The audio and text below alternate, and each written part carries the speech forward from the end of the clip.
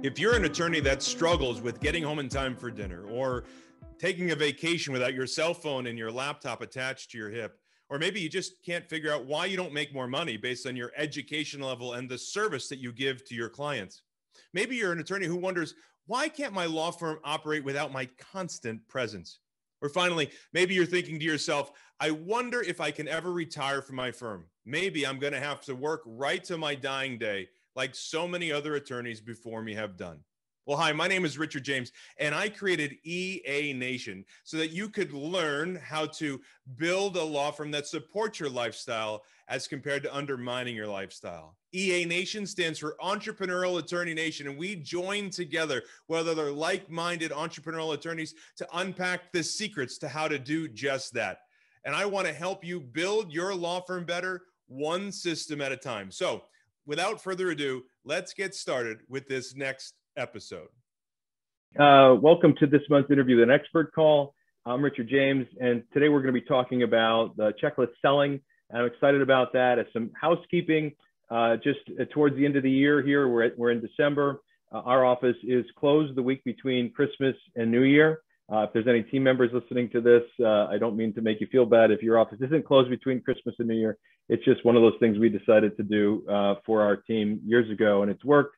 And it gives them, a, a, all of us, including them, a way to refresh and restart. Uh, we have the Partners Club meeting that's coming up around the corner in February. Uh, and that is going to be uh, a fantastic event that's focused around profit. Uh, I'm going to be there. We have guest uh, uh, presenters from the membership that is going to be sharing with that with you how they maximize their profit. Stuff you don't really want to miss. Tom Rich is going to be talking about generating profit uh, from his perspective as a small business owner and a long-time uh, small business consultant. So I think there's uh, tremendous content there as well as wonderful marketing and networking opportunities. And so you're going to want to make sure that if you not use your golden ticket, you go ahead and, and do that. This is a great event to do so. If you're a member and you haven't registered yet, go ahead and fill out the RSVP form uh, that we need you to register. Um, I'm going to go ahead and change my um, uh, Brittany to a co-host so that she can have the uh, superpowers that I need her to have. There you go, Brittany. I'll also change Michael to a co-host so that he can have superpowers as well. All right.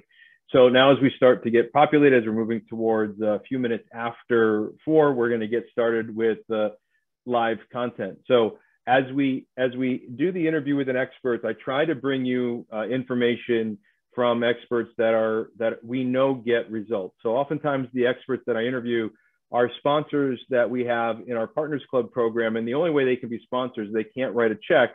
Um, they have to actually get results. And so um, when when you start uh, thinking about getting results, like how do you define it? Well, it's it's usually defined in helping our clients succeed in the goals that they hired them to help them with. Um, for me, in this particular guest situation, it goes back a little farther, right? So as a as a small business consultant for the last you know decade or more, um, I have worked with small businesses one on one, and oftentimes I find uh, they would ask me questions about how to do things, and then when I uh, when I would tell them, you know, here's what you should do X, Y, and Z. Uh, when I saw them next, I would find that they either didn't implement or they only implemented part of it. And as my son was growing up wanting to be in business, he would ask me questions and I would give him advice and, and, tell him what to do, and then he would go ahead and he would implement it. And so um, I found that like I would tell him something to do on a Friday, and by Saturday morning when I woke up, it was kind of already done, right? So he implemented a really high level. And if you've been around our world at all, you know that Michael and I did an interview back in December, probably three or four years ago, when we talked about YouTube marketing, and he had built a successful YouTube channel uh, with you know 60 70 80,000 subscribers that you know gave him a six figure income every year while he went through college and he was very successful at it. Over the last year uh, as michael has matured now graduated college and he and i talked about what we were going to do together next we decided to launch a business together. And after looking at you know quite frankly dozens and dozens of different businesses we decided that what he was most passionate about and what I was passionate about was this idea of getting real meaningful change in the consult room or the sales room. And what he, the name we came up with was the closing room. And so um, I'll let him tell you his story and how he came about it. But what the best testimony I can give you to Michael is not only does he is he an action taker, so he's a small business owner, so understands how to take action and get results. He's now fil- figured out a formula that works. And so today we're going to share with you that formula. Um, and and and it's really a, a, a 30,000 foot view, which I think is important for you to hear as to why you need to think about things this way.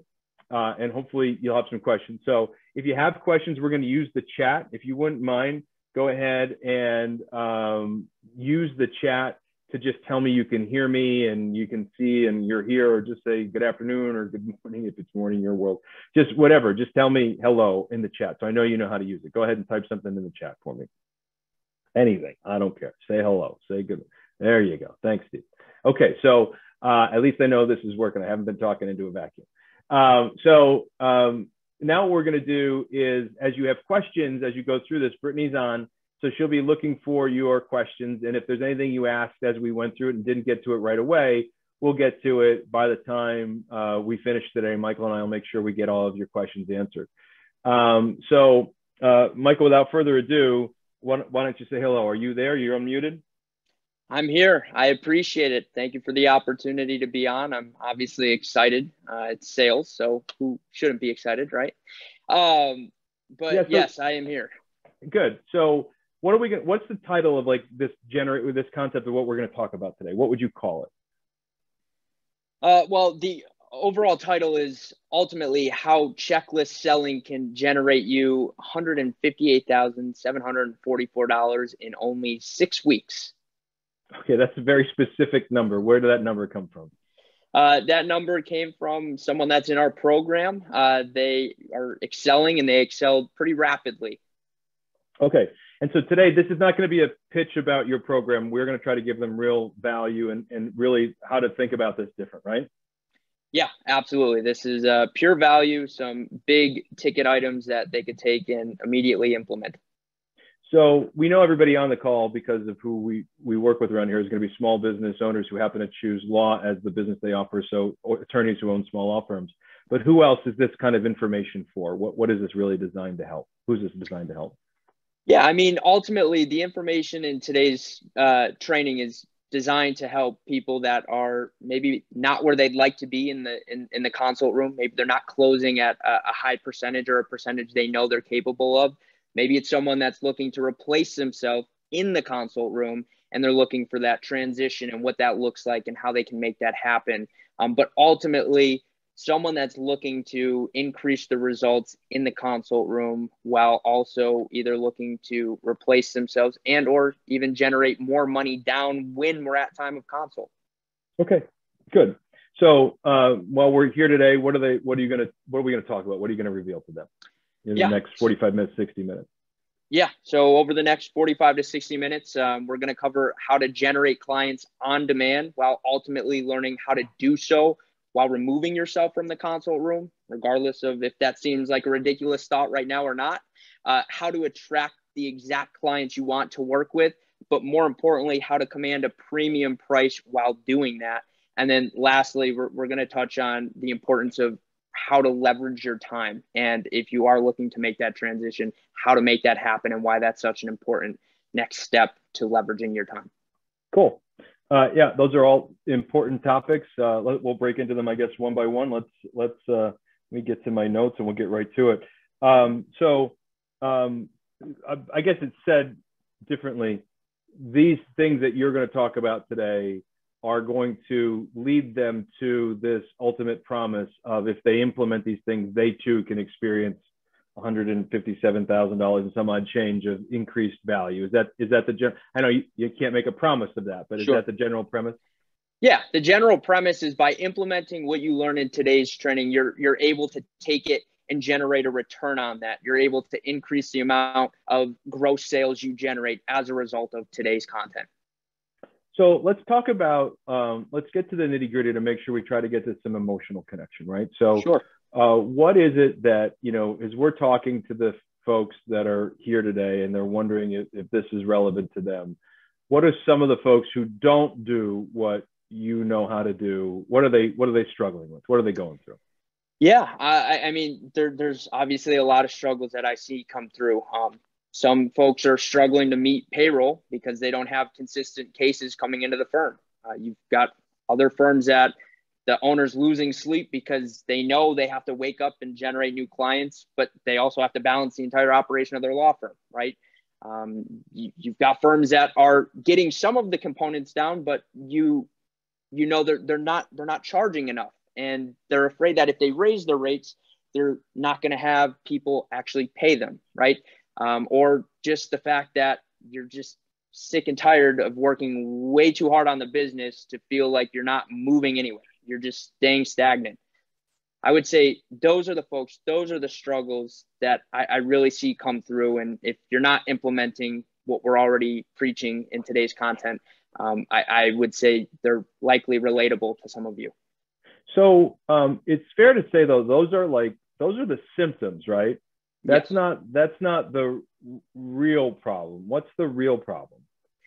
Yeah, so the real problem at hand is that these same people they, they haven't made the shifts. They haven't yet made the shifts that they need to make to get out of that situation.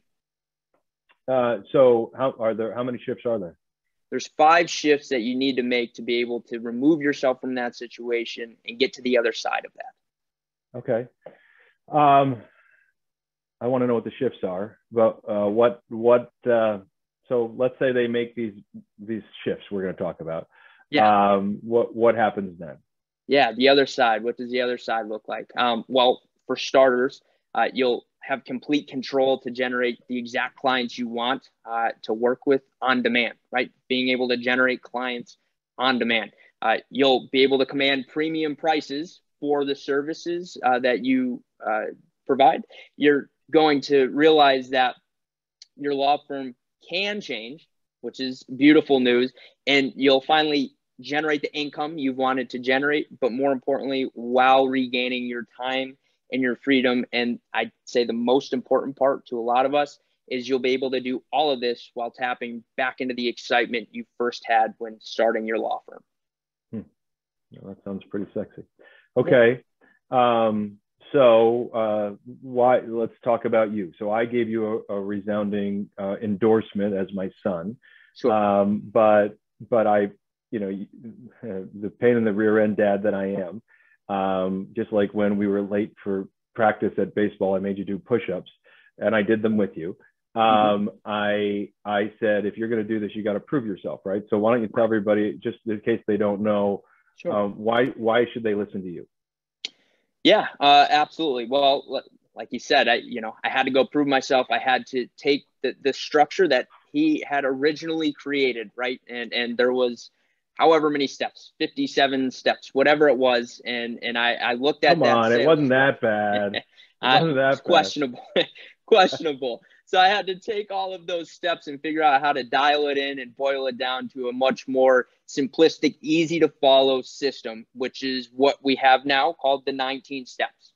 So i boiled down those 19 steps and we found a alpha firm. Would you like me to use names or no names yeah, you could tell everybody they're okay with it. I think. Well, okay. I mean, you know better than I do, but I'm assuming they're okay with it. They, they are okay with it. So uh, the the Grafton firm was gracious enough to allow us to go in as an alpha client and uh, give me an opportunity to, to to prove out this structure to see if we've got something here, right?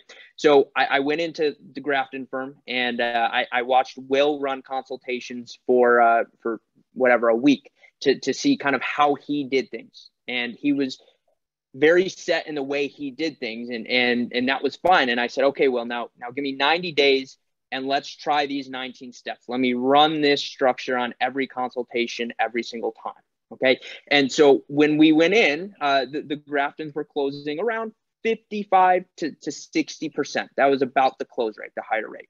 Uh, and then at the end of those 90 days we were consistently closing at 83 percent which was very exciting uh, but I quickly realized that I'm not going to be the one in each firm running consultations, right? So I had to then say, okay, can I take what I just did here with the Graftons and can I show other firms how to do that too?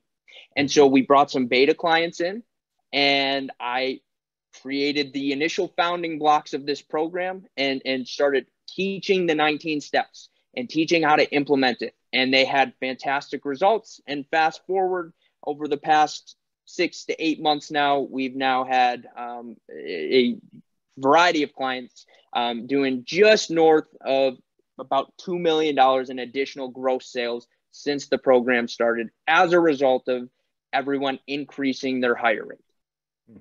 Fabulous. Okay. Got it. So you've got the chops. You figured out how to do it yourself. You you you train somebody. Then you train somebody else how to do it, uh, and and now you've you've brought on a swath of clients and you've been doing it math. So okay, fine. We can we believe you. But sure. so you you've got these 19 steps. We, we, in 40 minutes, we're not going to be able to go through 19 steps, but right. nor nor will it do much value. I think right. one of the interesting things that you said to me was hey dad um, while while obviously we have 19 steps that we have to follow um, there there were five shifts and this is kind of how this came about there were five shifts that took place how did you discover these five shifts when you were going like what, what how did that come about because you started with like 19 steps and now here you are you identified like five things that that your clients weren't doing that you realized needed to be done and and so how did you figure that out Sure. So I think it's a conversation of more the macro and the micro. So the the micro is the 19 steps. That's the the practical everyday implementation of being able to increase your hire rate. But on a macro level, I saw a common trend with just about every firm that came into the program. And these are five macro shifts that I discovered every firm had to make to be able to come to the other side of those challenges we discussed earlier on to get to the point of uh, tapping back into that excitement. Okay, good. Well, let's talk about shift one. I think you sent them to me. Let me let me see if I bring it up here. All right, so there it is, 15744, and it's the five shifts. And the first shift you want to talk about is go ahead. I'll let you walk through it here. Yeah, uh, shift one is implementing a repeatable sales system. Okay, so it's important that we implement a repeatable sales system. We could slide over. Um, so, when it comes to implementing a repeatable sales system, uh, this is important because, see, if you don't have a system, you don't have a structure, it's going to be extremely difficult to ever build consistency into your consult room, right? And without consistency, there's no dependability and without dependability uh, you're going to experiencing or experience all of the problems we had discussed earlier and it's going to be hard to ever truly achieve freedom in your firm so this one thing implementing a repeatable sales system actually has a ripple effect to everything else in our firm because if we put a proven structure that can be used on every consultation every single time um, it will allow us to generate predictable, and consistent results in the consultation room. And the important point to make is it does not matter whether this system is run by you, the attorney, the owner, an attorney, or a non attorney, right? It does not matter whether it is an attorney, the owner, or a non attorney salesperson. The key is we need to have a repeatable sales system that should have no deviation and should be run on every consultation without fail. Okay, so so get tell me if I'm wrong. I'm hearing this as a mindset issue. Like I'm hearing this as not like, you know, okay, Michael, we heard you. We need a system, but like, sure. I'm hearing you say you, you find that the attorneys that the, the owners of small law firms that don't have the mindset that they are going to use a closed loop, repeatable system every single time are the ones that struggle to get repeatable amount of clients and maximize their conversion rate. Is that correct? Yeah, and and that that is correct. And the reason, in, in, in other words, in other words, what I mean is they think that they need to go build a system or change the system every time to to get as many percentages, the highest percentage of clients they can. The way they'll maximize their client percentage is if they uniquely use a, a, a unique situation each and every call or each and every meeting. Yeah, and when you ultimately boil it down, it boils down to two two things. One, for so long, so many people have been told that you do need to customize each consultation to each prospect, and indirectly by saying that, you nailed it that you should try to close 100% of the deals that come through your firm's doors, right? Here's the problem with that.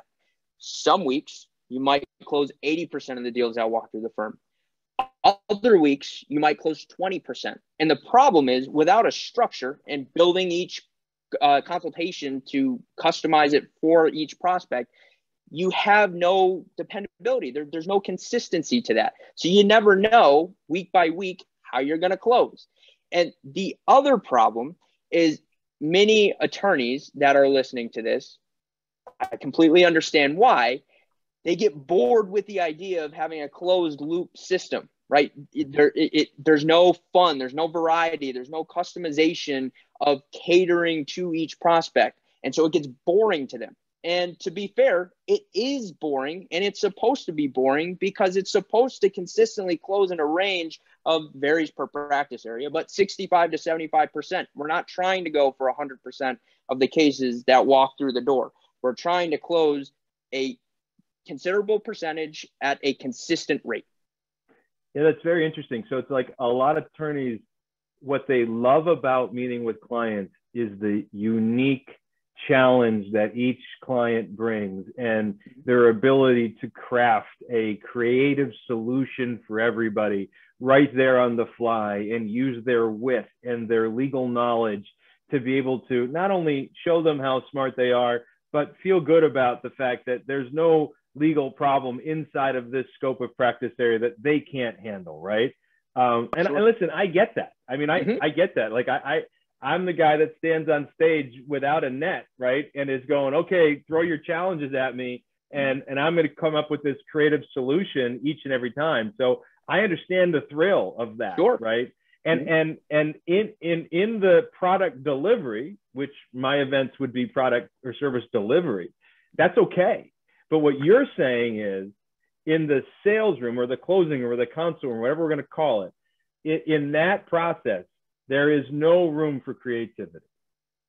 That is correct. We need a formula, we need a structure, a structure that closes consistent numbers.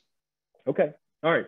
Uh, do you have anybody that that you th- thought the one way and now thinks a different way? You got a story about that?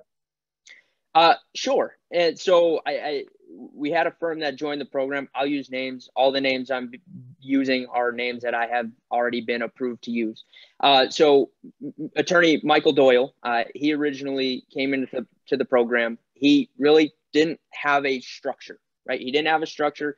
He didn't even necessarily want to use a structure. Uh, when we had our original conversation, he was then open to the idea of using a structure, but wanted to try to implement it on his own. He wanted to try to build his own structure, his own system. And I said, go for it. You know, that was one of your options. Do it yourself. And he wanted to try to do it himself. And I followed up with him a few months later. Uh, and I said, how's it coming along? You know, have you seen progress? How's your new system? Uh, and what he told me is he didn't have a system because it was boring. and so once he told me that, I said, okay. And I said, how about your, your percentage? Have you increased the hire rate? No, in fact, I think it lowered. All right. So are we open to giving this a go? Yeah, let's give it a go. Right. And so then he implemented the system. He was closing around the 25% mark. And uh, after implementing the structure, uh, within about four to six weeks, he was consistently closing at about 70%.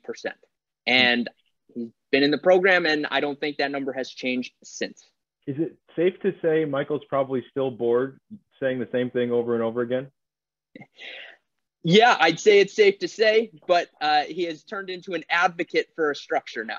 Okay, good, good. All right, let's let's keep going. Let's see if we can get to the next uh, shift here.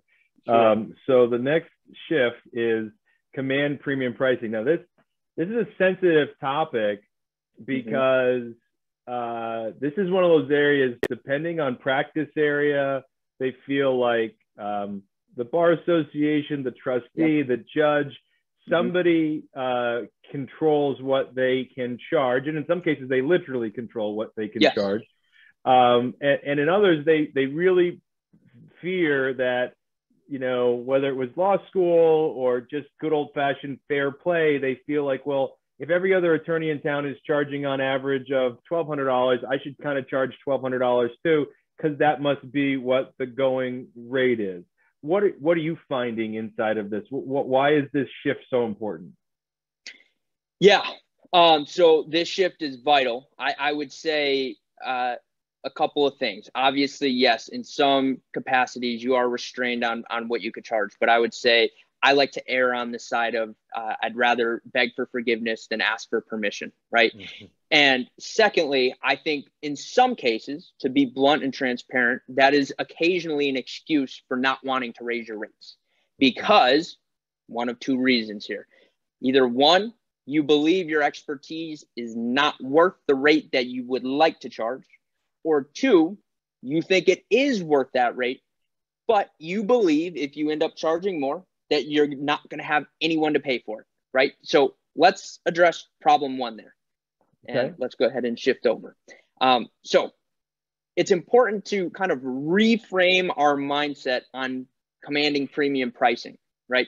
Because we're not selling our time per se, right? We're selling the value. It's not our time. It's not even our knowledge. It's the value of the result you delivered. Someone came into your firm with a problem that they are experiencing in some capacity and they need it solved. You are the solution to making sure their problem gets solved. And that's ultimately what your clients want. A lot of times they want clear communication, but they're not entirely concerned with what happens from A to B, as long as B means that their problem is solved and they no longer have to experience that pain. So, high prices believe it or not, actually reassure your client that you're the best at what you do. And so this is why it's important to reframe our mindset, our mindset on the thought of commanding and charging a premium price for what you do.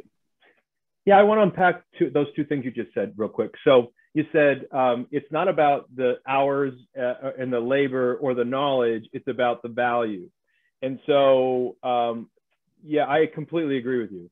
Um, and let's define value for a second. So sure. you can define value in a couple different ways. We can mm-hmm. define value at, as money at a discount. So, you know, if in a bankruptcy, it's pretty straightforward. You've got, you know, $127,000 in debt and you're going to pay me $2,500 and we're going to get rid of it. If every time you gave me $2,500, I gave you $100,000 back, how many times would you like to do that deal? Right. I mean, that's a pretty straightforward, but it doesn't, it's not always that cut and dry, right? It's no. not, and, and in every practice area is not always that cut and dry. But what we're really talking about in value is, and, and here's where I think, I, and I just had a conversation with somebody else today uh, who had a 911 call earlier, earlier about this. And I think this is where attorneys are missing it. The real value is the hell that the clients that they're dealing with are going through, right? So the absolute torturous hell that they are struggling with yep. and the potential heavenly solution that they can provide if they were to retain the firm to do that for them.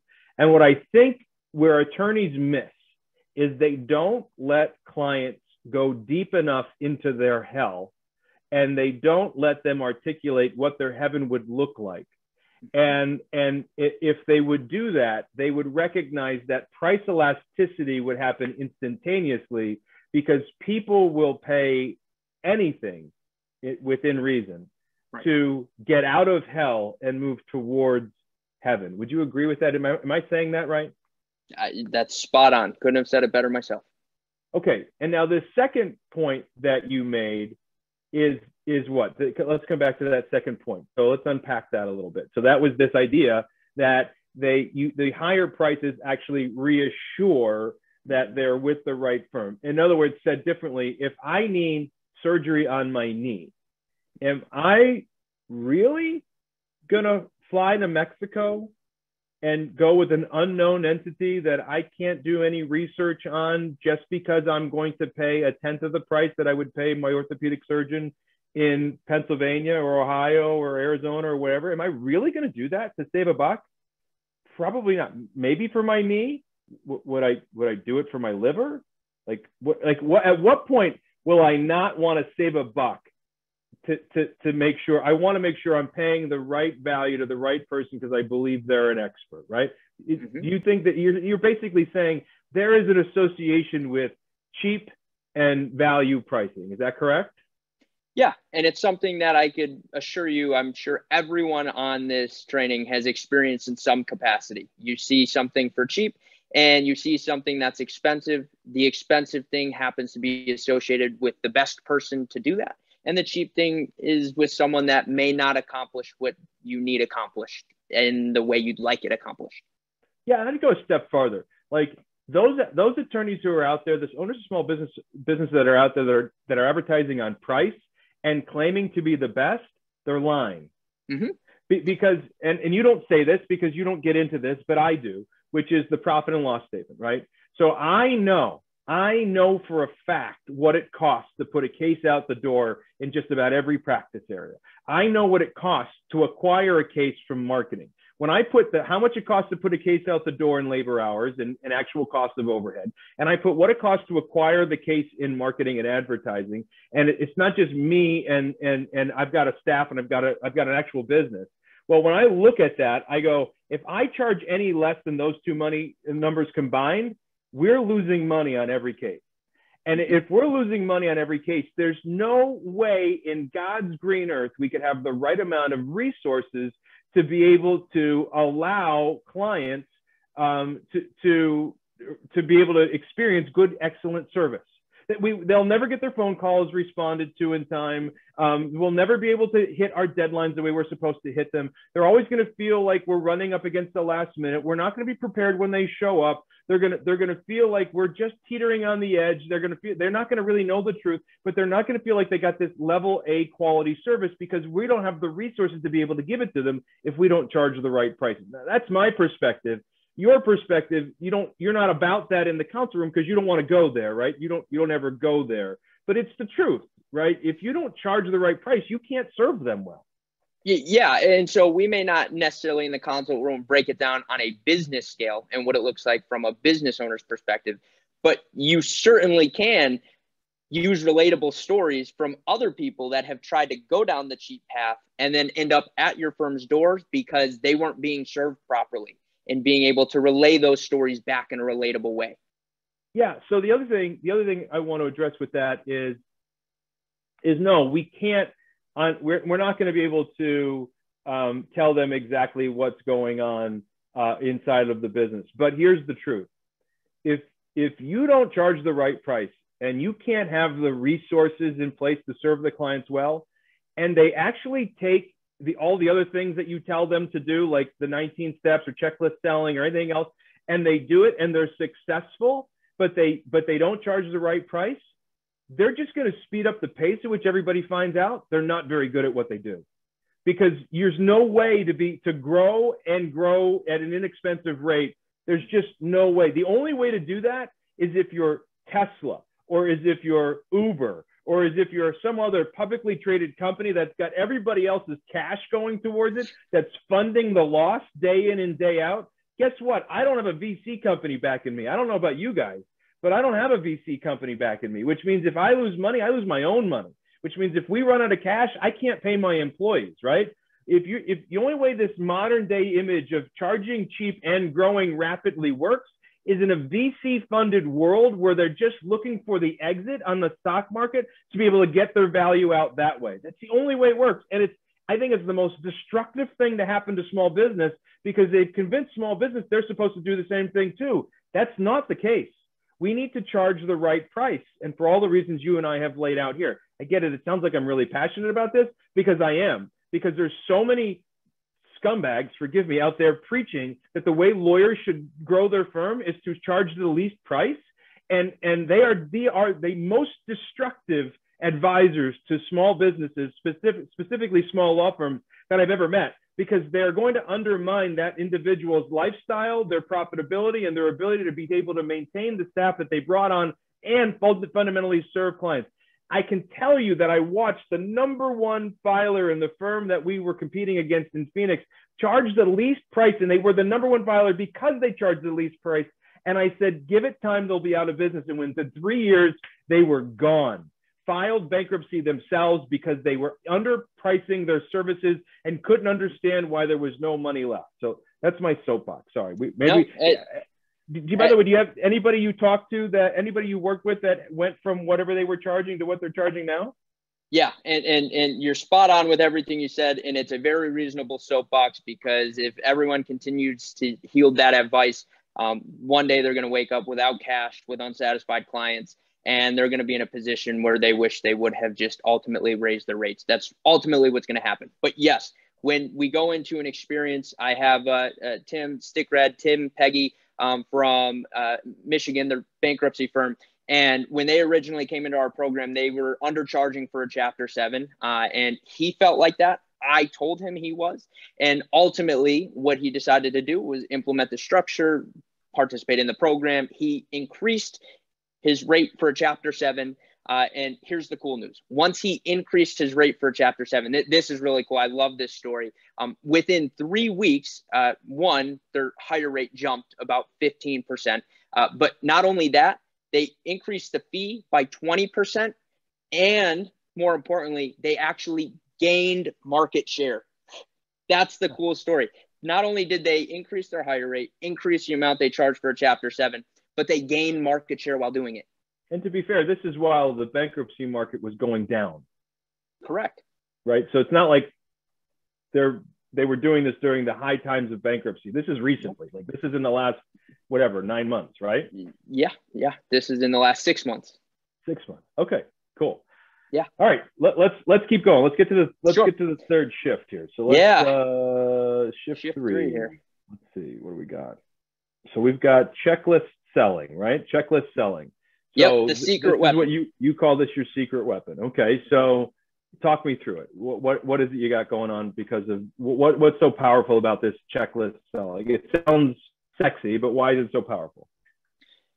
Ultimately, checklist selling is so powerful because we talk about implementing a repeatable structure, right? But what's the practical implementation of that? The practical implementation of that is checklist selling having a structure and that structure being the checklist. In our case, it's the 19 steps, right?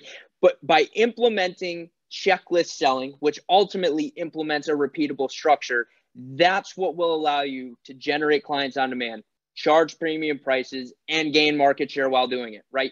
And it can be done. And I know I make note of this regardless of if it is you or not you in the consult room, meaning either another attorney, a paralegal, or non attorney salesperson, right?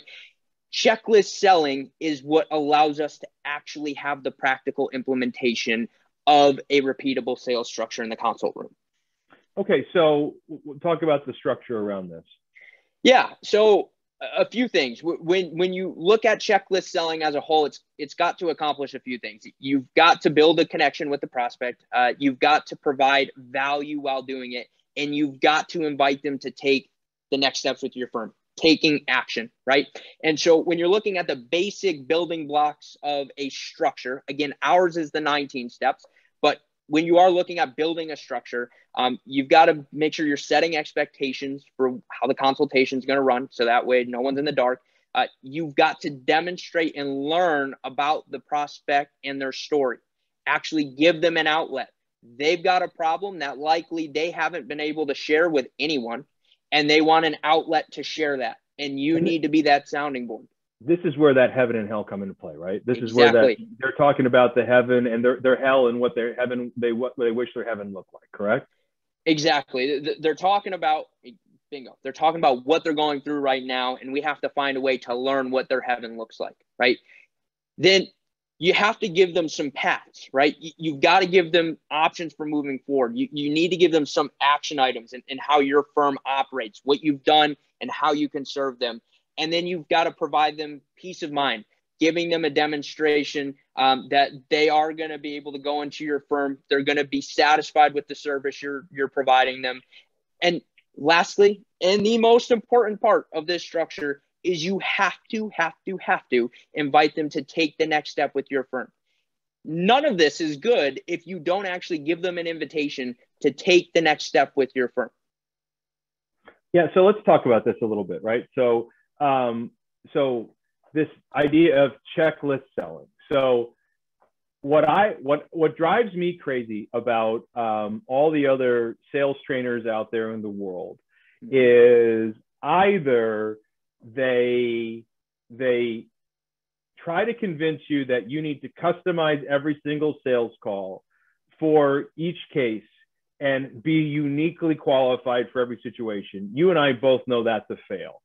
Uh, or they they say to you they have some acronym or structure that they think you should use, but they're meaningless. Like like even if we go like so let, let me use yours as a, as a point as a case in point. So go back to this. Look, you said set expectations, learn about the prospect and their story, heaven and hell, discuss their options and how the firm works, um, so they get to choose. Provide peace of mind, letting them know what's going to happen, and invite them to make, take the next step. Right. And so this sounds like almost like a checklist. But you and I both know from doing this, the problem is there are so many little nuances inside of here mm-hmm. that that yeah, you could get maybe you could get away with building a structure like this and, and have yeah. it work a little bit. Mm-hmm. But the the magic, the magic of using checklist selling where you break it down by point by point by point mm-hmm. is that you actually get to go and go, no, no, okay, inside of this, there are four little steps. I need you to do this step and this step and this step and this step. And so rather than leaving it up to the talents of the individual, you literally write and build a script and a structure that follows these steps so that when somebody is on the phone and then you review that call, you can literally score it and go check, check, check, check. And that means that they that means they got it done. And if they get it done, they're more likely to close the deal, right? That's exactly right. Okay, so th- so for me, you know, I, I know we're not going into the 19 steps in depth here, but those five things that we just gave them is essential. They can start there. So if they don't have the 19 steps, by the way, if you're a Partners Club member, the 19 steps are on the dashboard. You can grab them. They're already outlined for you. You're not a Partners Club member, Michael probably teach you how to reach out to him later, and you can learn more about the 19 steps. But regardless, what you need to be committed to is is this idea that we're going to go into checklist selling. So tell me uh, a story about somebody who didn't use checklist selling before and now uses it now and what the result difference is. Yeah, so I'll, I'll, I'll use an example of uh, exactly what the, the title of this webinar was, which is uh, Attorney James Jones out, out of uh, Tacoma, Washington, an estate planning attorney. See, when, when I originally met James, um, he did not have a repeatable structure. He was customizing each consultation, and he certainly had no checklist to follow when going through the consultation. Um, when we had had a conversation, he, he was open and receptive to the idea of okay, maybe checklist selling is worth a try. Maybe there's something to this, right? He wanted to be able to consistently retain more clients and do it, like I said, at a consistent rate. Um, so when he decided to take that leap into the program to be able to build out checklist selling, to have that repeatable structure. Uh, he was originally, like the Graftons, at about a 55% close rate. Um, and then after six weeks, literally six weeks, uh, he was consistently closing at 84%, 80 4% and closing uh, an additional $158,744 in gross sales in only six weeks. That number has only continued to climb. Uh, more impressively, just to break it down into an annual stat, uh, that's $1.352 million in additional gross sales as a result of him implementing checklist selling and having a repeatable structure in place. Okay, so James is a happy guy. Um, yeah. So, okay. So, what what I, what I find really interesting there is so estate planning. So, mm-hmm. what I know about estate planning attorneys, not be, not only because I've worked with them for so many years, but I also you know have my own. They're they they they love to be precise, right? Because what they do, the, their language in their contracts really matters, right? It makes it may, can make a huge difference in the settlement of an estate or in the event of some sort of litigation later on. And so they they they have they realize what they do has to be done correctly. And so they're very they pay close attention to each individual situation, which means they're susceptible to in the consult room wanting to customize, right? Yep. Which is makes complete sense that James would have wanted to customize in the consult room Absolutely. because that's what That's what he wants to do in his practice area, right? Um, and so, but yet, for whatever reason, he saw this as an opportunity and he was able to put aside his normal tendencies and follow the structure and the script to the word, to the letter. And now he's realized realizing this increase. So, uh, congratulations to James and congratulations to you for, for helping him understand that. Okay, so so let's recap where we are right now. So we've sure. we've covered um, so far uh, th- this idea that they've got to get their mindset right. What did you call that? Uh, just implementing a repeatable structure, a repeatable okay, so sales system. The, the mindset around I- implementing the repeatable structure or repeatable system. The the second one was getting the price right, right? What did you yep. call that? Command premium pricing. Command premium pricing. Okay, so they got a command premium pricing. And then the third was checklist selling, correct? The secret weapon. Yep, checklist. Selling. All right. So I think it's fair to say that if they did these three things, they would see some results. Would you agree? Absolutely. But would you also agree that it's not the total story, right? So what I love Certainly. is you you you identified two additional shifts that I think are important for us to get to. We only have about 13 minutes left but I, I want to get to them because because I think they're important. So let's talk about these two additional shifts you identified. The fourth was leverage your time. So mm-hmm. what are you finding when you're talking to attorneys about leveraging their time? Yeah. So uh, a couple of things. Obviously, leveraging your time. So disconnecting your time from gross sales. Um, understanding you you are the best at what you do. So focus on doing that, right? If you are the best in your practice area and actually practicing the law, why not focus your time on solely being the best at practicing that area of law, right? See, as, as all, opposed to trying to be the best salesperson in the world. Exactly. It, it, you know, it, of, of course, it, it, you know, we want to be the best at everything we do, right? Um, but that's not the best use of our time. And most of the firms I have worked with have how, found ways to ultimately scale their time um, and generate the same, if not better results by leveraging their time. And when I say leveraging their time, I mean hiring either an attorney or a non attorney salesperson to run consultations. That's by far the fastest way to leverage yourself because I know that many of these attorneys, the only way you're going to generate new business is if you have consultations.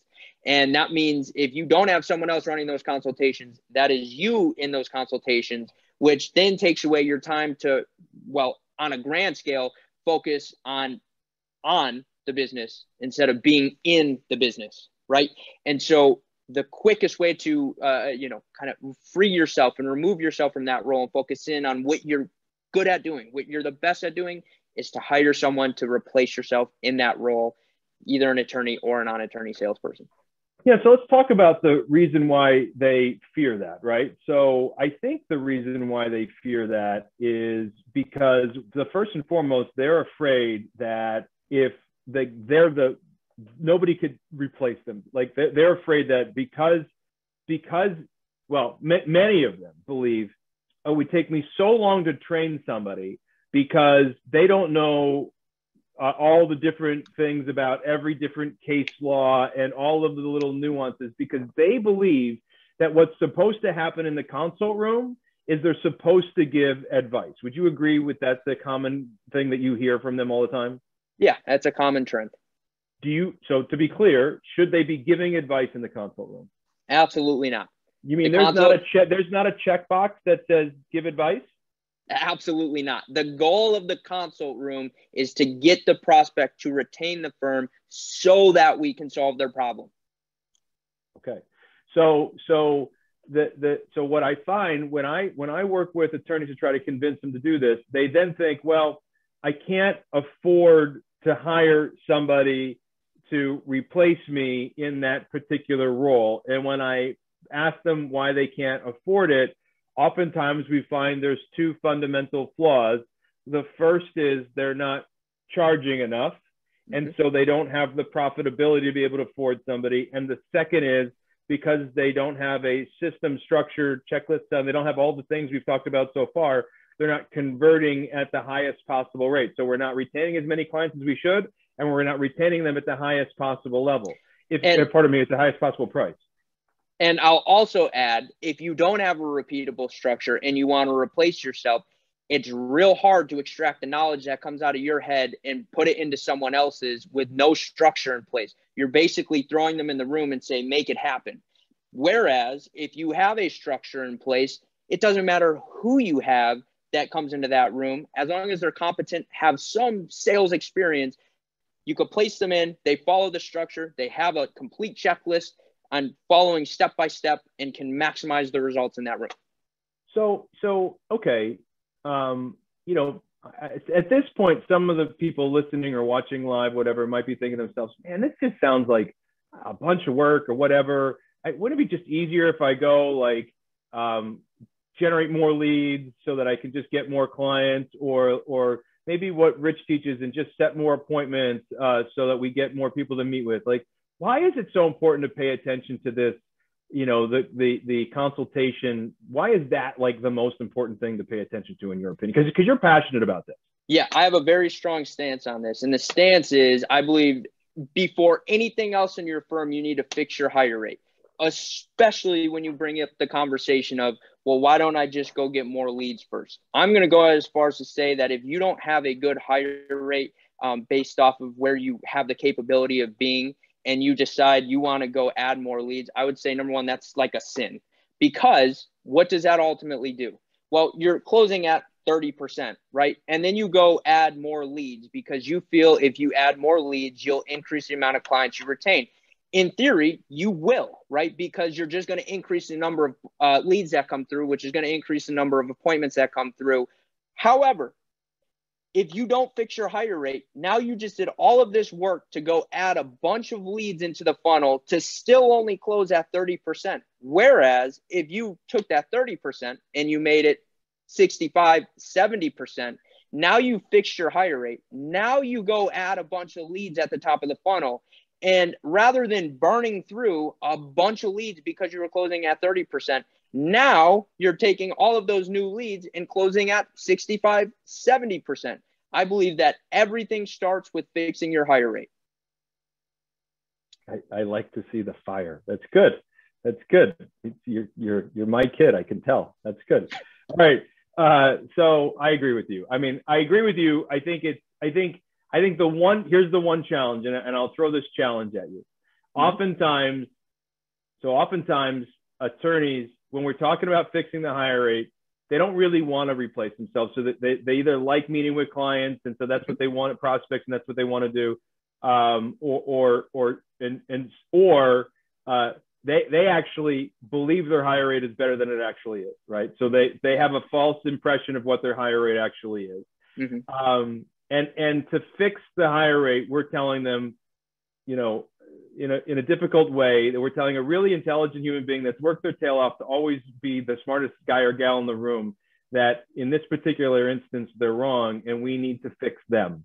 And that can be a humbling thing. And so that's the only challenge. So so what do you run up against when you're telling them okay you don't want to hire somebody else. You want to get I, we got to fix you. How do you get through that? Like how do you break through that scenario with them yeah, I, it, and it is tough, right? And it is a humbling experience. Um, you got to come at it from, I, I hate to be so logical, but from a logical approach in some capacities, because it's like, listen, by not fixing you, you're leaving a lot of opportunity on the table. You're going through the hell, per se, that there is absolutely a solution to be able to overcome to see the heaven of the other side.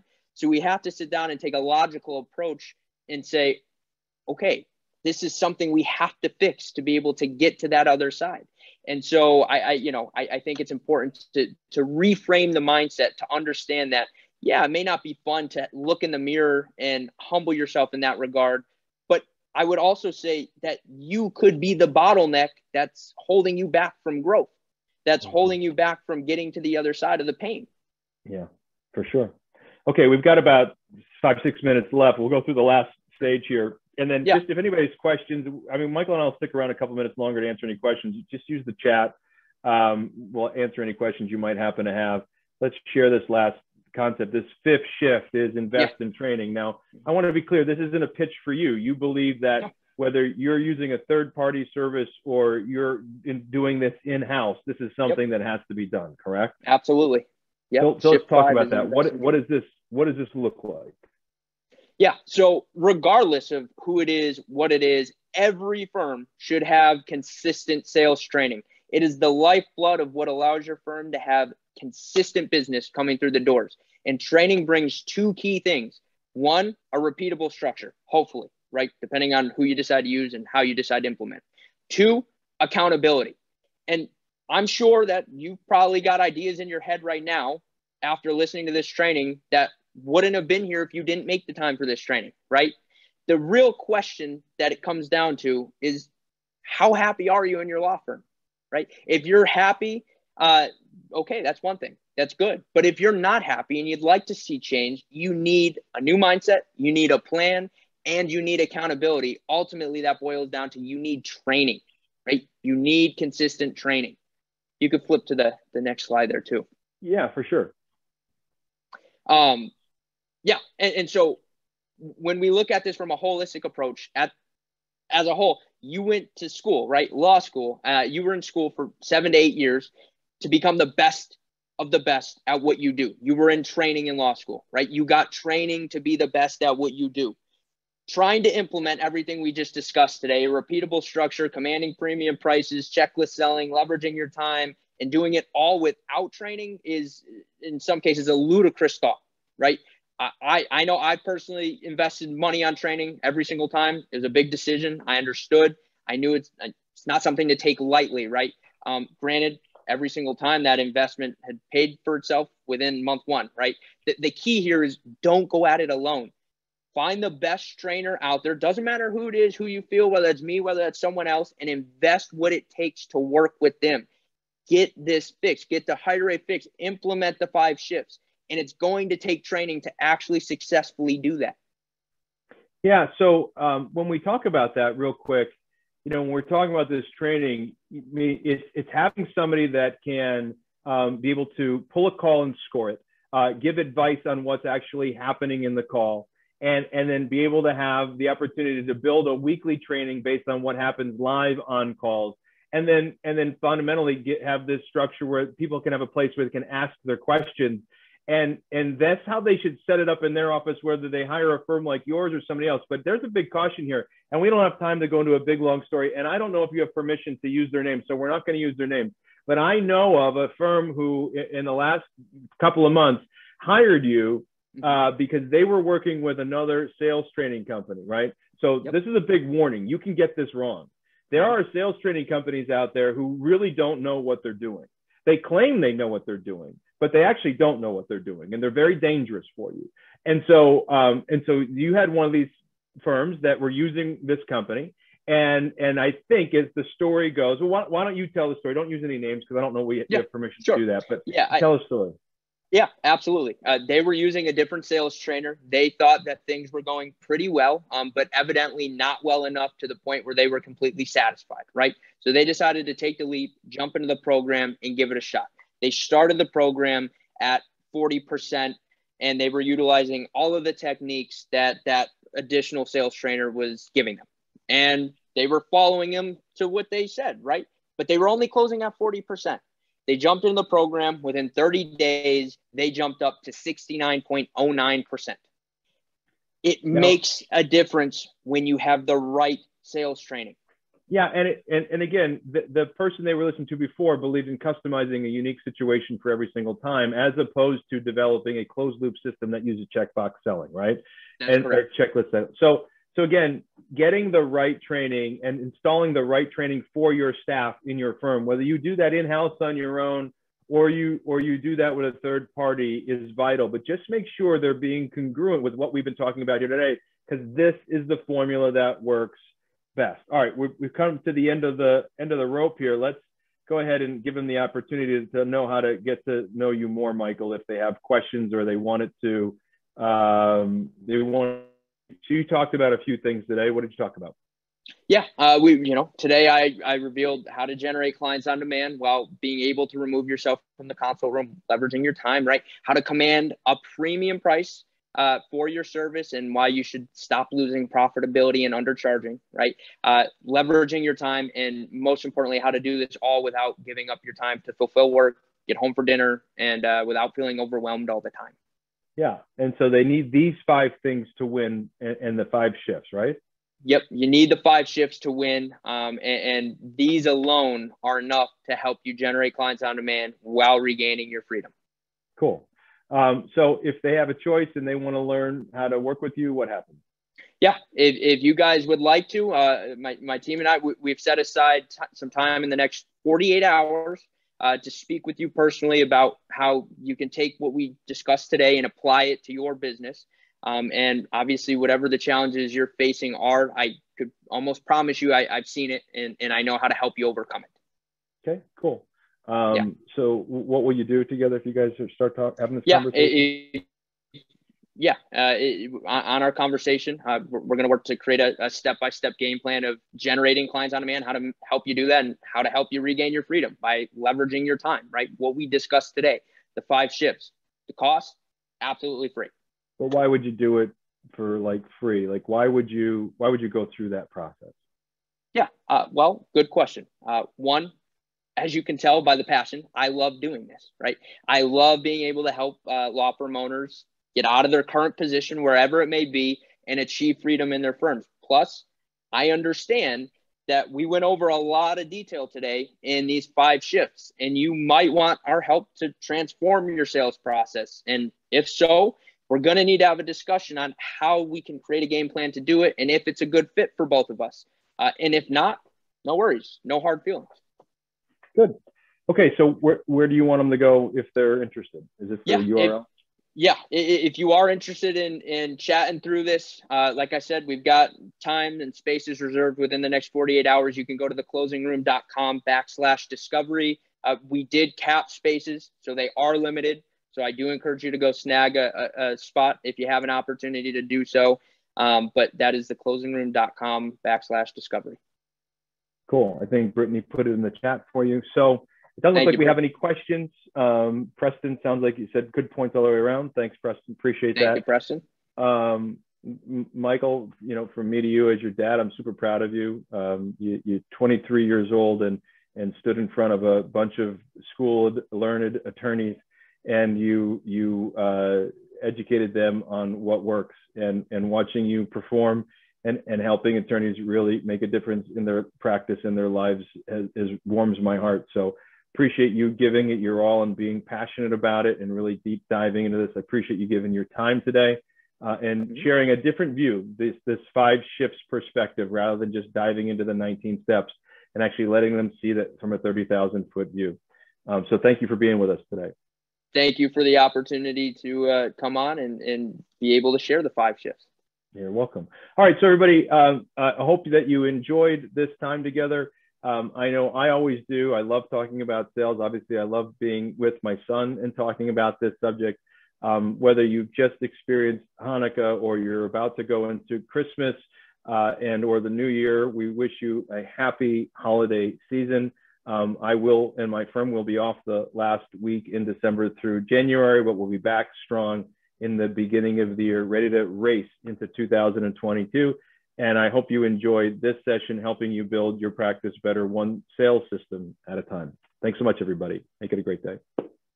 I hope you enjoyed today's episode. I hope you learned something about a system that you could put into your law firm so you can build that law firm that supports your lifestyle rather than undermine your lifestyle. I hope that you feel like you're part of our community we call Entrepreneurial Attorney Nation. If you'd like to learn more about what we do around here, the best way to get started is to go ahead and go to our website, therichardjames.com. That's therichardjames.com and request a free copy of one of our books so that you can take the next step in learning how we can help you build your practice better, one system at a time.